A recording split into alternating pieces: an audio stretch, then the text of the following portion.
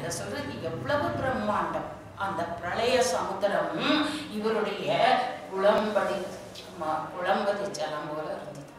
ஒரு மாடு போனா ஈரக்கரையில அது குழம்புப்பட்ட இடத்துல எவ்வளவு ஜலம் தங்குமோ அவ்வளவுதான் இவ பிரளயத்துல இவருடைய குளம்படி ஜலம் அந்த பிரளய ஜலம்ங்கிற அப்போ எவ்வளவு பெரிய உருவம்? மகாபூத்ரின் பெரிய உருவம் வராகும் அந்த வராக பெருமான் நம்மை ரட்சிக்கட்டும்னு சொல்லி அந்த ஸ்தோத்திரத்துல ரொம்ப அழகா நான் ஸ்தோத்திரம் முழுக்க சொல்லலை. ஏன்னா நாழியாயிரம்ன்றதுனால ஏன்னா அவரே ஒரு ஒரு இன்சிடென்ட் சொன்னதுனால அதை மட்டும் குறிப்பா சொல்லிட்டு போயிட்டு இருக்கேன் பத்து ஸ்தோத்திரமும் முடியணுங்கிறதுக்காக அடுத்தபடி. புராதன பிரகரண கிராமக்ஷணம் பாணிஜெய்கி பாணிஜெய்கி கையில பிறந்தது நகங்கள். என்ன? புராதன எங்க சொல்ற பிரத்யாதிஷ்ட புராதன பிரகரண கிராமக்ஷணம் பாணிஜெய்கி அரியாத்ரி ஜெகத்யகுண்ட மகிழான் வைகுண்ட கண்டீரவன் அவன் வைகுண்ட கண்டீரவன் இந்த இளஞ்சிங்கம் யசோதை இளஞ்சிங்கம் எல்லாம் அப்புறம். முதல்ல அவன் வைகுண்ட சிங்கம். அதை எங்க பார்க்கலாம்? சசநாமத்துல நாரசிம்ம வபுகு ஸ்ரீமான். முதல்லயே வந்து ஏழாவது திருநாமம்னு நினைக்கிறேன். நாரசிம்ம வபுகு ஸ்ரீமான். அவன் ஸ்ரீமான். அவனிட்ட இருக்கிற ஸ்ரீமத்துவம் அந்த நாரசிம்ம வபு நிசிம்மன் நரங்கலந்த சிங்கம். ஆளறிப்பிரான். ஆழ்வார். அழகா அதுக்கு பெயர் இருக்கிறார் ஆளறிப்பிரான் ஆழ்பாதி அரிப்பாதி சிங்கம்பாதி மனுஷன் பாதி இந்த அவதாரம் நீங்க முன்ன பின்ன பார்த்துருப்படா சுவாமி? நான் பூத்தோ நம்ம பவிஷ்யத்தின்னு சொல்லுவா இது மாதிரி என்னையும் பார்த்தது கிடையாது இனிமேயும் இம்பாசிபிள் வரணும் அப்படிப்பட்ட ஒரு அவதாரம் எடுத்து வந்தார்னா கோபாயே தனிசம். அவர் நம்மை காப்பாற்று கோபாயே. ரட்சிக்கட்டும். ஆஹ், இந்த கோபாய தனிசம் யார் புராதன பிரகரண. அதான் புராதனம். எதுக்கு? அதெல்லாம் வயசாயிடுது ரிட்டையர்மெண்ட் கொடுத்துட்டார். எல்லாரும் ஓய்வு எடுத்துக்கோங்க. புராதன பிரகரண கிராம க்ஷணம். எல்லாம் சேர்ந்து எல்லா இதங்களும் சர்வ பிரகரண பிரகரணாயுதகன்னு சொல்றோம்.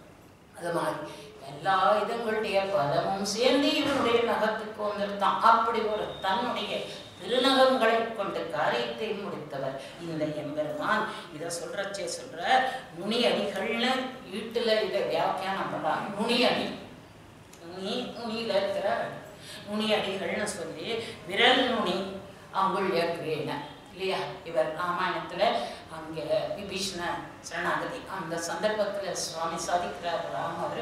எனக்கு இவர் விபீஷணனை சேர்த்துக்காதுங்கோ அவன் யாரு சொல்றது இது? சுக்ரீவன். கூட பிறந்தவனையே உமக்கிட்ட காட்டி கொடுக்குறான் பாரு. இவன் என்ன பண்ணான் வாலியை பத்தி இவன் பண்ணினான் அதான் அவன் பண்ணிடுவான்னு இவரை வான் பண்ணுறான் சேர்த்துக்காதுங்கோ சேர்த்துக்காது அவனை நம்ப தகுந்தவன் அல்ல. யார்? விபீஷணன். மகாத்மாங்கிறார் வால்மீகி. விபீஷணனா மகாத்மாங்கிறார் இந்த சுக்ரீவன். அதுதான் பிரபங்கமான ஒருத்தரம் சீத்தை சொன்னான். அவனுக்கு என்னதான் வேஷம் போட்டாலும் குரல் குத்தி போக மாட்டேங்குது. பிரபங்கமான்னு கூட சொல்லிட்டான் அதெல்லாம் சீதை தான் சாமர்த்தியமா பேசுவார். அப்படின்னு நைஸா விட்டுருவோம் வார்த்தை. இங்க சுருக்குன்னு குத்தும். ஓ எங்க? பாப்பானம் வா சுபானா. வதார்கானாம் பிளவங்கமான் சார் வதார்கானம் வதம் பண்ணணும்னு சொல்றியேடா. குரங்கு புத்தியை காட்டுறிய. பெருமாள் எப்படிப்பட்டவர் தெரியுமா? புனாமபி வத்சலக எதிரிட்ட கூட வத்சலன் நீ போய் கொல்றேன்னு சொல்றியடா. குரங்கு புத்தியை காட்டிட்டிய. அந்த குரங்கு புத்தியை சுக்ரீவன் கையில் இவன் மகாராஜா இவனுக்கு இன்னும் கொஞ்சம் பெரிய புத்தி. இவன் என்னமோ ரொம்ப யோக்கியம் மாதிரி அவன் அப்படி பண்றான் பாருங்க பெருமாள் திருப்பி கேட்கல. நீயும் வாலி அப்படிதானடா பண்ணின கேட்கல பாவம் பெருமாள் கேட்க மாட்டேன் பெருமாள் தான் சாது உள்ளதுக்குள்ள. நாமெல்லாம் தான் கொல்லாது ஆ போச்சு. அதுக்கு வேற புராதன அப்படின்னு சொல்லிட்டு அதில் சொல்கிறச்சு இவர் சொல்கிறார் எனக்கு எந்த என்னை எவனாலையும் எதுவும் பண்ண முடியாது. எனக்கு எந்த ஆயுதமும் தேவையில்லை. என்னுடைய நகம் ஒன்றாலேயே முடிச்சுடு வேண்டாம்னு சொன்னார். அங்கதான் சிம்மாவதாரத்தை மென்ஷன் பண்ணுறதாக ராமாயணத்தில் வியாக்கியம் ஸ்ரீமத் ராமாயணம். ஆக இந்த பலம் வாய்ந்த ஒரு ஆயுதத்தோடு அவதாரம் பண்ணினாரே. அந்த எம்பெருமான் நம்மளை ரட்சிக்கட்டும் அப்படியா அவ்யா சப்தத்தை சொல்லி அந்த பெருமாள் நம்மளை ரட்சிக்கட்டும்னு சொல்கிறார் அதுக்கு மேலே இது ஜெகன்மங்கள ஸ்தோத்திரம். நிருசிம்மாவதாரம் நிருசிம்மாவதாரத்தையும் ஜெகன்மங்கள சோஸ்திரம்னு சொல்லி இந்த ஸ்தோத்திரத்தில் ரிசிம்மனை சேவிங்கோ அவன் தான் மங்கள தெய்வம் அதையும் இந்த இதில் காமிச்சு கொடுக்குறார் பெருமாள். அதுக்கு மேலே வைக்கம் சுவாமி தேசிகன் காமிச்சு கொடுக்குறார். அதுக்கு மேலே அவர் வைகுண்ட கண்டீரவகான்னு சொன்னதும் அவன்தான் பரமபதத்தில் அடையனுடைய தாத்தா என்ஆர் கிருஷ்ணசுவாமி எங்க மதுரையில் எழுதியிருந்தார். இல்லை பரம வருஷம் ஆச்சு. அவர் திருப்பாவைக்கு ஒரு வியாக்கியானம் சக்க தமிழ் மாலைன்னு நாங்கள் அதை புஸ்தகமாக போட்டோம். அந்த வியாக்கியானத்தில் எழுதி பரமபதத்தில் பெருமாளுடைய எந்த ரூபம் தெரியுமா? இருக்கு. நாரசிம்ம வப்பு ஸ்ரீமா. இதுக்கு பல பிரமாணங்களோட ததா எழுதியிருக்க. பெருமாள் பரமபதத்திலே நிருசிம்ம ரூபியாக தான் எழுந்தருளியிருக்கிறார். அப்படின்னு சொல்லி அது ஆஹா அந்த எம்பெருமானை அதனால் தான் வைகுண்ட கண்டீரவகான்னு சொல்லி சாதிக்கிறார்னு சொல்லி இவன் கேட்கிறார் தன் பிள்ளைன்னு சொல்ல பிள்ளையை சீறி வகுந்து தூண் புடைப்ப பிறையை தனல் விழிப்பிழ்வா தெளிய சிங்கமாகிய தேவை திருவல்லிக்கேணி கண்டேன் என்று பாடுறார் ஆழ்வார். அந்த இடத்துல சொல்றச்சே பள்ளியில் போதி வந்த தன் சிறுவனை வாயிலோர் ஆயிர நாமம் ஒழியவா? எப்போது வாழ்வதற்கு ஒன்றுமோர் பொறுப்பிலனாகி பிள்ளையை சீறி வெகுண்டு தூண்டுவார் பிள்ளையை சீறின்னு அவன் பிள்ளைய சீறி புகட்டு போட்டான். போட்டு போட்டானா? நீ சுத்து போன்னு சொன்ன. பெருமாளுக்கு தாங்களே அவன் என்னோட பக்தன்? அவன் ஸ்மராமி பக்தன்? நான் ஏற்கனவே சொல்லியிருக்கேன். அந்த வார்த்தையை இப்போ விட்டுருவேன் நான். தூணுக்குள்ள வந்து உட்காந்துட்டான்? எப்படி? க- எ- சுவாமி தேசிகன் வரதராஜ பஞ்சாசனத்தில் செய்கிறார். எல்லாம் சிம்ம கர்ப்பம் இல்லையா? பக்த சேதான சிசு பரிபாலனாய் இந்த குழந்தைய வார்த்தையை காப்பாற்றும் தூண்ல உள்ளானா? அந்த குழந்தை சொன்னான சத்தம் போடாம இருந்து விடாம? பரிபாலனாய். அந்த குழந்தையுடைய வார்த்தையை பரிபாலனம் பண்றதுக்கா? தூண்ல வந்தவங்க எத்தனை? இன்னமும் அந்த சிலை எந்த தூண்லையும் சாஞ்சிடாதவங்க திடீர்னு பெருமாள் வந்தாலும்.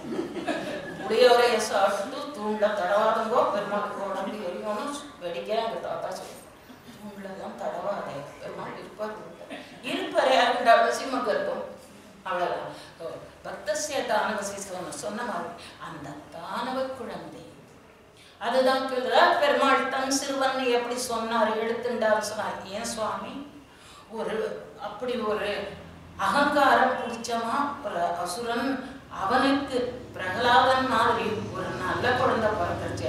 அவ வீட்டு தூண்ல பெருமாள் பிறக்க கூடாதா பிதாமகிய போது அங்கதான் பிடிக்கிற சுவாமி இந்த ஸ்தோத்திரத்தை ரொம்ப அழகா பூர்த்தி பண்ற அவனுடைய தூணல் தான் பாட்டியா எடுத்துன்னு சொல்லி. இல்லையா? எப்படி? பெருமாள் அவதாரம் பண்ண. பிரம்மா பிரம்மாவை படைச்சார். பிரம்மா இவாளெல்லாம் படைச்சான். ஆக பிரம்மாவுக்கு பெருமாள் அப்பா. அந்த தூண் இவாளத்தெல்லாம் பாட்டி ஆக இந்த இடத்துல பெருமாள் ஸ்தம்பத்திலிருந்து வந்த காமாசி காஷ்டத்துல ரொம்ப அழகா சாதிக்கிறார். இதேதான் தான் கஷ்டித் அற்புத கேசரி எப்படி ஒரு அற்புத கேசரி அவரே ம், அஹ், கிருஷ்ணர் பிறகுச்சு அற்புதம்னு சொன்னான் இல்லையா? தமத்புதம் பாலகம் அம்புஜேஷனம் இவர் அற்புத கேசரி. அது பாலகம் இது கேசரி. அது வந்தது காரணமே வேற. சௌலபியத்தை காட்டுறதுக்கு இவன் வந்தது இந்த அகங்காரத்தை ஒழிக்கணும். இந்த குழந்தைய ரட்சிக்கணும். அங்கேயும் பரித்ராணாய சாது விநாசாய துஷ்கிருத்தம் எல்லாம் நடந்தது. ஆனா கூட முதல் முதல் முக்கியமான காரணம் இதுன்னு சொன்னதுனால சுவாமி தேசிகன் அவர் அழகா காட்டணும்னா அவனுடைய அரண்மனையில இருந்த தூண் பண்ணின புண்ணியம் இந்த பாவி பண்ணல ஒரு துளியோண்டு நினைச்சுட்டு இருந்தான் ஆகியும் இப்படி ஒண்ணு வந்துவிட்டே பெருமாள் தான் வந்துவிட்டார் விழுந்திருக்கணும். பண்ணலையே. அவ்வளவுதான். பெருமாள் நமக்கு இது ஒரு பாடமாக காட்டி கொடுத்தார்.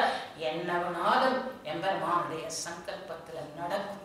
ஆக இதை புரியறதுக்காக ஆக இந்த பெருமாள் நம்மை ரட்சிக்கணும்னு சொல்லிட்டு அந்த அற்புத கேசரியை ஒரு ஸ்லோகத்தினால் பாடு. அடுத்தது லீலா வித்த வதான்ய வதான்யன்னு பெருமாளை தான் சொல்றா கோனஸ்மின்னு குணவான் கசிய வீரியவான் கேட்கிற போது வதான்யன் யாருன்னு கேட்கச்சே ராமனை சொல்றார்.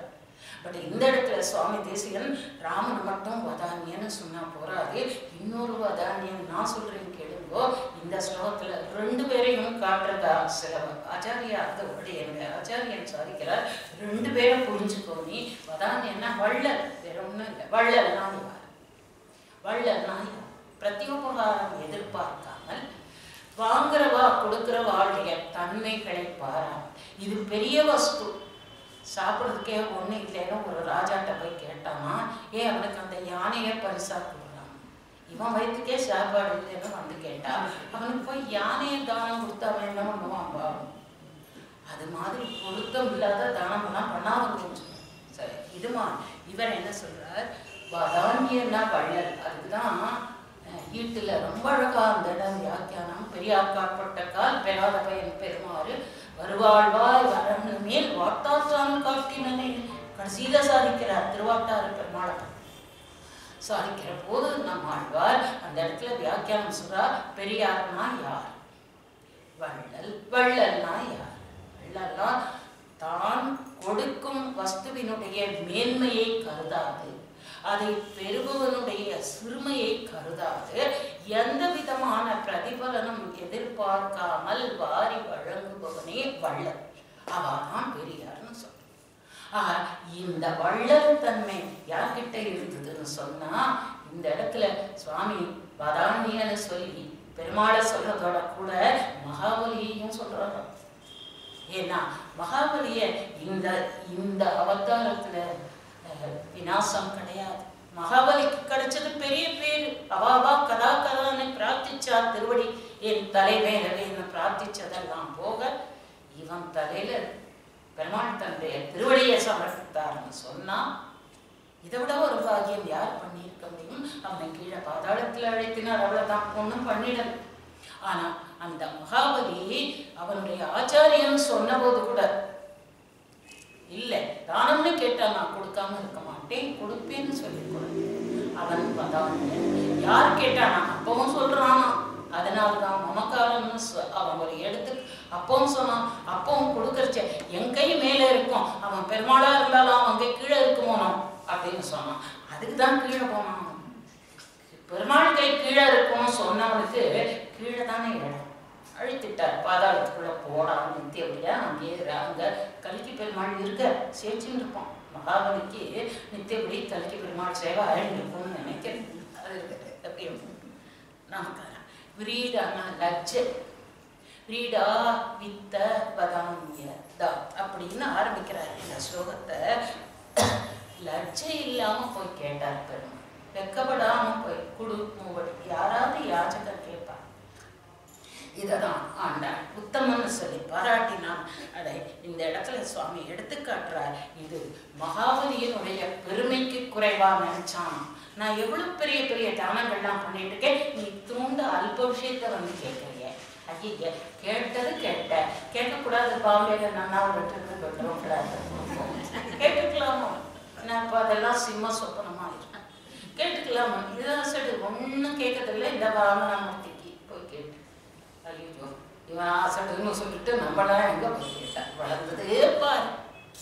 அவ்வளவுதான். அந்த தாரை வார்த்தை ஜலம் தரையை தொடுறதுக்குள்ள மூணு லோகமும் தாண்டி போயிட்டு பிரம்மா அதுக்கு திருமஞ்சனம் பண்றார் அந்த திரு அப்போ அது எங்க போயிடுத்துன்னு பார்க்கணும் அவ்வளவு பெரிய திருவடி. ஆக இந்த மூடியலால் உலகை இழந்தவனே அவன் அவனுடைய அவனுடைய வள்ளல்தனத்தை அறிவிக்கணுங்கிறதுக்காகவே பெருமாள் இந்த அவதாரம் எடுத்தார்னா இது மகாபலிக்கு ஒரு ப்ளஸ் பாயிண்ட் கொண்ட மகாபலியை அவர் குறைச்சலாவே மதிப்பிடலை. அதுக்கு என்ன எல்லாம் சோனி கோணன் சதாம்ச பாலனக்கலா சுவாமி வேற பஞ்சகத்துல அதானே சொல்றார். கருணாய் கடந்த காலர் ஆழ்வர் பாடுறார் ஒரு நாயகமாய் ஓட உலகுடன் ஆண்டவர். அங்கன்மான அலக்கரசர் அபிமான பங்கமாய் வந்தார் அவர் இவாளுக்கெல்லாம் கொஞ்சோண்டு ராஜ்யத்தை. மூணு அஞ்சு வருஷம் கூட இல்லை மூணு வருஷத்திலேயே பதவி பறிபடுறது இந்த எம்எல்ஏக்களும் எம்பிக்களும் நமக்கே பிரத்யட்சமா தெரியும். அப்ப இந்த ராஜான்னு ஒருத்தன் சிம்மாசனத்துல உட்கார்ந்தா என்ன கர்வம்? அந்த கர்வம் இந்த மகாபலி.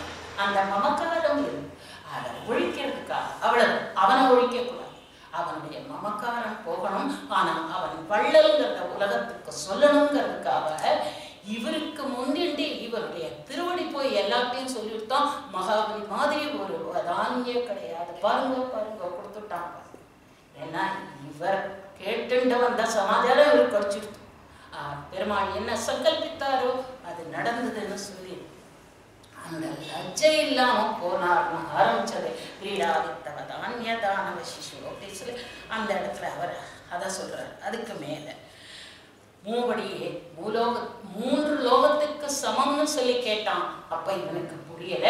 அதுக்கப்புறம் கேட்டான். அந்த அந்த ஒரு பழைய நரசிம்மபுரியான படிச்ச ஒரு கான்வர்சேஷன் பெருமாளுக்கும் மகாபலிக்கும் இடையில ரொம்ப வருஷம் பழைய இதுல ஒரு ஆச்சாரியர் எழுதியிருக்கார். அதான் சொல்ல யாருன்னு ஒருத்தர் கேட்குறாரு. எனக்கு யாருமே தெரியாது. அப்பா அம்மா இல்லாதா நான் இருக்கிறார் உனக்கு என்னடா வேணும்? நான் மூணு அடி மூணு அடியை வச்சுருக்கு. என்னடா பண்ணுவேன்னா இல்லை எல்லா எனக்கு இதே மூணு சமம். இருக்க கூட ஒரு சாமி இடம் இல்லைன்னா சாமர்த்தியமா கேட்டார். அந்த கான்வர்சேஷன் ரொம்ப அழகாக எழுதியிருப்பார் ஒரு யாரோ ஒரு சமஸ்கிருத கவி பண்ணினதுன்னு சொல்லி.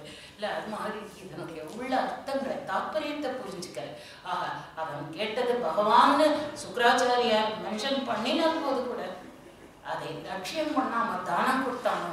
ஏன்னா அவனுடைய உயிரான அந்த தானங்கிற அந்த பெருமையை காட்டுறதுக்காக பெருமாளுடைய திருவடி இவனுடைய புகழ் அங்கே வரைக்கும் போச்சுன்னா முன்னால போன திருவடி மூணு லோகங்கள்லையும் அவருடைய புகழை பறைசாற்றியதுன்றதுக்காக இந்த அவதாரம்னு சொல்லி சுவாமி தேசிகன் வேறு ஒரு ஆங்கிள் இதை நமக்கு காட்டுறச்ச ரொம்ப அனுபவியமாக இருக்கு. அவ்வளோ அனுபவிக்கிறோம். அதுக்கு மேலே பரசுராம அவதாரம். பரசுராம் குரோதாக்னி எடுக்கச்சே சுட்டா குரோதாக்னி ஜமதக்ன பீட்டன இவன் ஜமதக்னியை கொன்னதுனால இவருக்கு குரோதாக்னி ஜாஸ்தியாகிடுச்சு கோபம் இதுல இவாளோட சரித்திரம் ஜமதக்னியுடைய சரித்திரத்தெல்லாம் பார்த்தா தெரியும். அந்த சத்தியவதிங்கிறத இவ சொரு கொடுக்குற ரிஷிகர். ரிஷிகர்ன்ற முனி அவர் தான் இந்த சத்தியவதியை கல்யாணம் பண்ணிக்கிறார். இவ அப்பா காதி. அந்த அவர்கிட்ட போய் உன் பொண்ணை கல்யாணம் பண்ணி கொடுன்னு கேட்குறச்சு ஆயிரம் குதிரை. அதனுடைய காது கொழுப்பு அதில் ஒன்னே ஒன்றுக்கு மட்டும் காது கருப்பாக இருக்கணும்னு கண்டிஷன் ஏன்னா இவனால அது கொண்டு வர முடியாதுன்னு அவருக்கு தன்னை பொண்ணை கொடுக்க முனிவருக்கு கொடுக்க இஷ்டம் இல்லை. ஆனா பகவத் சங்கல்பத்துல பிரார்த்தனை என்ன பெருமாளுக்கு இதாக வட்டாரம் வந்தாகணும். அவர் என்ன ஆயிரம் லட்சம் குதிரையிலையும் ஒரு குதிரை அப்படி கொடுப்பாரு அவர் கொடுக்க மாட்டாரா அது மாதிரி கழிச்சு இந்த சத்தியவதியை கல்யாணம் பண்ணிட்டு இவளுக்கு குழந்தை பிறக்கணுங்கிறதுக்காக ஒரு செவு பண்ணி பிள்ளை குழந்தைன்னா அதை அம்மா தனக்கு பிள்ளை குழந்தை ஏன்னா பொண்ணுகிட்ட கேட்டு இவ ரெண்டு பேரும் அதை மாற்றி சாப்பிட்டு அதை இவளுக்கு தெரிஞ்சு கோபம் வந்துடுது அப்புறம் தான் சாபம் சொல்ல. பிராமணனுக்கு ஒரு க்ஷத்திரிய பிள்ளை பிறக்கிறான். க்ஷத்திரியனுக்கு ஒரு பிராமண பிள்ளை பிறக்கிறான். அது இந்த சொல்லுன்னா அந்த பிரசாதம் யாகத்தில் பண்ண பிரசாதம். அது சாப்பிட்டதுனால அப்படி பிறந்து வரான் விஸ்வாமித்திரரும் ஜகதக் அவர்கள் ஆக அவருடைய பிள்ளை பரசுராமரா பிறக்கிறார் அப்புறம் சாப விமோச்சனத்துக்காக சொல்றச்சு இல்லை இல்லை ஜமதக்கினிக்கு ஒரு நல்ல பிள்ளை மாதிரி பரசுராமன் பிறப்பான்ற மாதிரியே அது கதை அப்படி போகிறது எதுக்கு இதை சொல்றேன்னு சொன்னா இவர் இருபத்தோரு தடவை பூமியம் சுத்தி வந்தார். க்ஷத்திரியர்களை பூண்டோடு ஒழிப்பேன்னு சொல்லி பண்ணினது ஆனா இதை வந்து பெரியவாழ்லாம் ஒரு ஆவேச அவதாரமாக தான் சொல்கிறார்கள் பரசுராம அவதாரத்தை இது ஒரு பர்பஸ்க்காக இப்போ வியாச வியாசாய விஷ்ணு ரூபாய வியாச ரூபாய விஷ்ணுவேன்னு சொல்ல அப்போ விஷ்ணுவே வியாசரா வியாசரே விஷ்ணுவானா? வியாசர் மீது ஒரு ஆவேச அவதாரம். அதே மாதிரி பரசுராமன் கூட ஒரு ஆவேச அவதாரம்னு சொல்றார் ஏன்னு சொன்னா இவர் இந்த பர்பஸ்க்காக அவதரித்தார். அப்புறம் தன்னுடைய யாகம் பண்ணது இது எல்லாத்தையுமே தானோட்டு ராமரை சேவிச்சுட்டு பிக்சர்ல இருந்து நகர்ந்துடுறா சீன்ல அப்புறம் அவர் வரல. அதுதான். பரசுராம இந்த பரசுராம அவதாரத்தை பத்தியும் விஷ்ணு சஹஸ்ரநாமத்துல நிறைய திருநாமங்கள். ரொம்ப அழகா கட்டாயம் தசாவதாரம் முழுக்க தெரிஞ்சுட்டோம் அனுபவிச்சோம்னு சொன்னா விஷ்ணு சஹஸ்ரநாமத்துல சேவிச்சு புரிஞ்சுக்கணும். கிருஷ்ணாவதாரத்துக்கு கஜேந்திர மோட்சத்துக்கு எவ்வளவு? அந்த யானையை தூக்கி இடுப்புல வச்சிருந்தாராம் பெருமாள் காலை தடவி கொடுத்தாராம் யானையை தூக்கி இடுப்புல இதெல்லாம் சஹஸ்ரநாமத்துல வியாக்கியானம் பட்டர் பாஷ்யம் படிக்கச்சே சந்தோஷமா இருக்கு. இவ்வளோ முன்னா கேட்க அதுக்காக சொல்றேன். அடுத்தபடி இந்த இந்த பெருமாள் ஜம ஜப ஜமதக்னி இவனுடைய பரசுராமன் அவதாரம் பண்ணினார் சொல்லி அதில் சொல்ற சே- தேசியம் காட்டுற ஒரு முக்கியமான விஷயம் என்னன்னு சொன்னான் இந்த பரசுராமர் இவருடைய வீரம். இதெல்லாம் ராமர்கிட்ட கொடுத்துட்டார். இந்த அவதாரம் நம்மால் சேவிக்கப்படும் சொன்னா இந்த அவதாரம் எடுத்த எம்பெருமான் நம்மை ரட்சிக்கட்டும்னு சொல்லிட்டு அந்த பரசுராம அவதாரத்தை முடிக்கிறார். அதுக்கு மேல ராம அவதாரம் அதுக்கு மேல பலராமன் அடுத்தது கிருஷ்ணா கிருஷ்ண அவதாரம். இல்லையா? நடந்தது பக்க பலராம அவதாரம். அதுக்கு முன்னால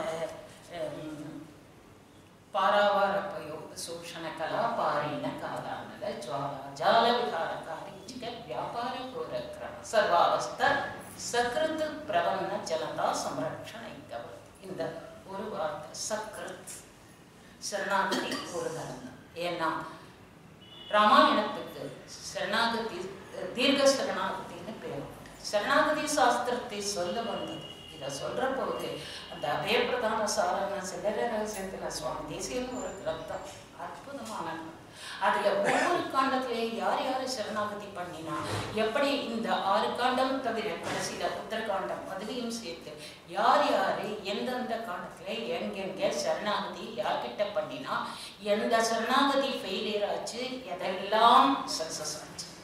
இதெல்லாம் ரொம்ப ஆதாரங்களோடு அதே பிரதான சாஸ்திரத்தில் சுவாமி சாரத்தில் சுவாமி தேசிகன் ரொம்ப அற்புதமாக காமிச்சு கொடுக்குறார். ஸோ இந்த அவயம் கொடுப்பதற்காகவே சரணாகதி சாஸ்திரத்துக்காகவே இந்த அவதாரம் ஏற்பட்டது. பாராவார பயோ சூஷண கலா பாரின காலம் இந்த காலான இந்த இவர் என்ன பண்ணுறார் சினத்தினால் தென்னிலங்கை கோமானை செற்றன்னு சொன்னவர் மனத்துக்கினியாமே எப்படி சொல்லலாம்னு ஒரு கான்ட்ரவர்சி கோபம் வந்தது. ராவணனை கொன்னான்னு சொல்றேன். அப்புறம் மனத்துக்கினி ஆனா எப்படி? மனத்துக்கினி உனக்கு கோபமே இருக்கக்கூடாது. சாந்த ஸ்வரூப்பின்னு சொன்னா மனத்துக்கு இனியவன் அவனுக்கு தொட்டதுக்கெல்லாம் கோபம் வரும்னா மனத்துக்கு இனியவனே இல்லை பயம். கோச்சுருவாரோன்னு பயம் ஏன்னா ஏற்கனவே வியாக்கியானங்கள்ல நிரங்குச சுதந்திரன் தண்டகரன் நிரங்கு இந்த பெருமானுக்கு எவ்வளோ அர்ச்சனை பண்றது? ஐயோ படிக்க செல்லாம் பெருமாள் பொல்லாதவரா பொல்லாதவரான்னு கொஞ்சம் தோன்றது. ஏதோ இந்த பிராட்டி இருக்கா இல்லையா? பக்கத்துல தைரியமா போகலாம் இல்லையா? வேற சுவாமி தேசிகன் பாடுறாரு. தன்னை சேர்ந்த தமருணையானுக நின்னுடன் சேர்ந்து நிற்கும் நின்றிருக்கும் என்ன அழகான அர்த்தம்.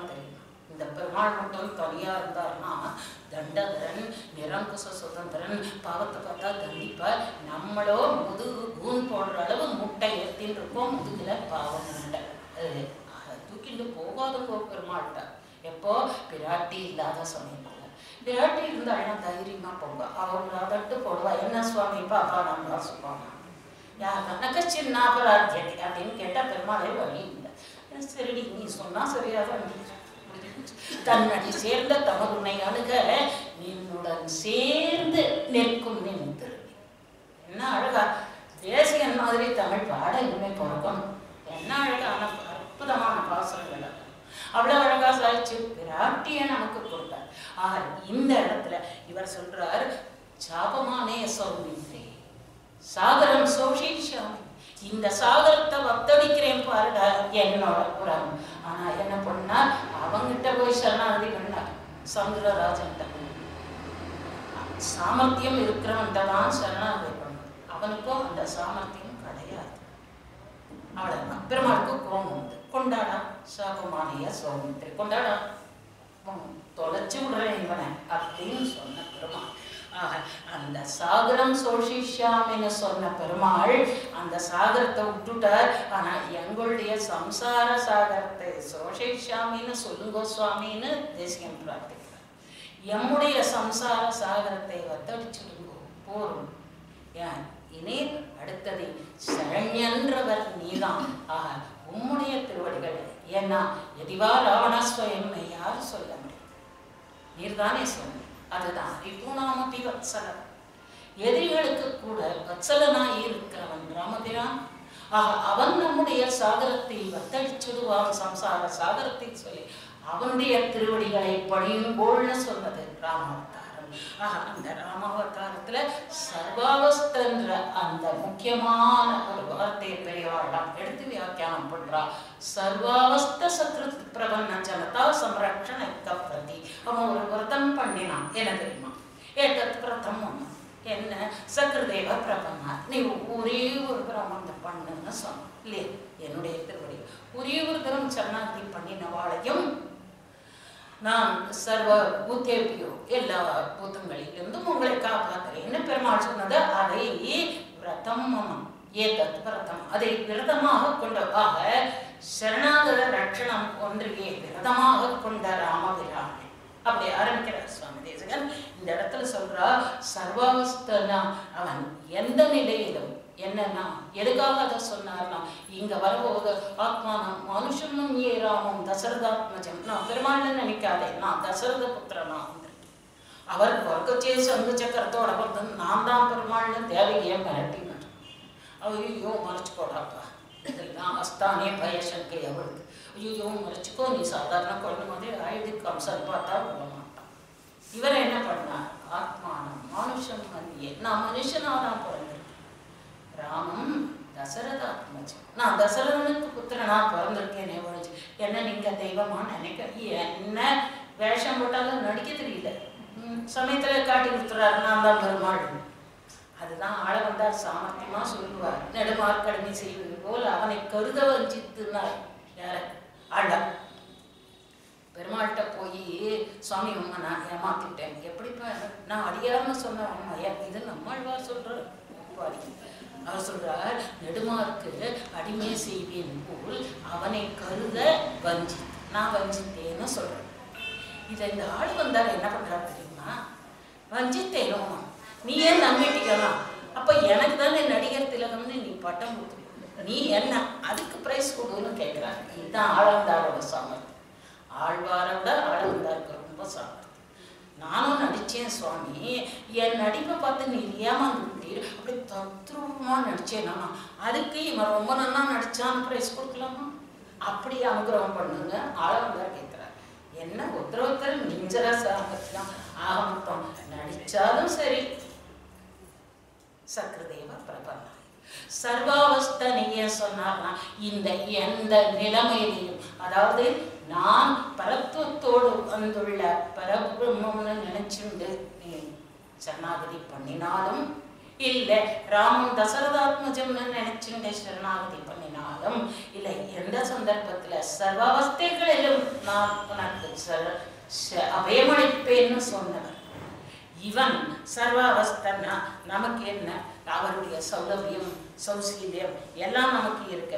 ஆனால் நம்ம என்ன பண்ணுறோம் அது பாஷைக்காரர் தான் கேட்கணும். எப்படின்னா சர்வாபராதனம் க்ஷமஸ்வர்கிட்ட அசேஷ சமத்துவ க்ஷமஸ்வன்னு கேட்குற போது என்ன சாமர்த்தியமாக கேட்குறாருமா தெரியுமா?